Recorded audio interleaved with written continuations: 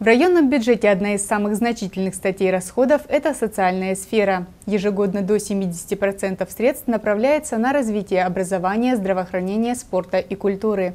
Строятся новые социальные объекты, проводится большой объем работ по ремонту существующих учреждений.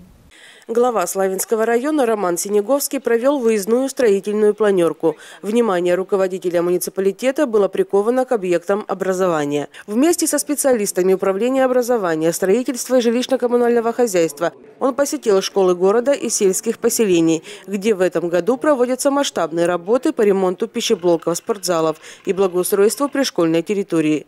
Благодаря участию муниципалитета в государственной программе Краснодарского края развития образования за последние два года в школах района были модернизированы и приведены в соответствие с современными требованиями шесть пищеблоков. В этом году будут сделаны еще два. В школе номер пять Славянска на Кубани строители полностью демонтировали старое оборудование и приступили к перепланировке помещений, замене коммуникаций. Такой же капитальный ремонт школьного пищеблока проводится в девятой школе станицы Петровской. По окончанию работ установят новое оборудование, и пищеблоки будут соответствовать всем санитарным нормам. Они станут красивыми, удобными и функциональными. Поэтапно приводятся в порядок и школьные спортзалы. В этом году проводится капитальный ремонт спортивных залов двух сельских школ – 39-й хутора Голицын и 29-й станицы Петровской.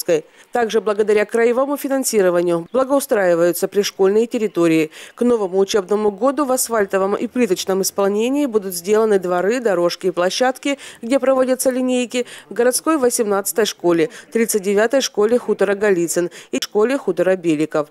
В трех сельских школах проведен капитальный ремонт кровли. Завершаются капитальные ремонты, текущие ремонты. Общая сумма финансирования порядка 250 миллионов рублей. Большое спасибо поддержке администрации Краснодарского края, губернатору Кубани, что выделяются очень серьезные деньги на софинансирование проектов. Мы отремонтировали в этом году, заканчиваем ремонты э, двух пищеблоков, благоустраиваем наши дворы, ремонтируем в целом э, помещения, э, инвентарь готовим.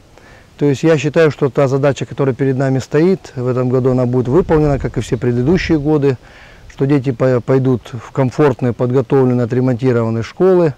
Большая часть ремонтных работ будет завершена к началу учебного года. Масштабные работы по модернизации пищеблоков, согласно графику, планируется завершить к ноябрю. Анна Монастыренко, Георгий Калинин. Программа «События».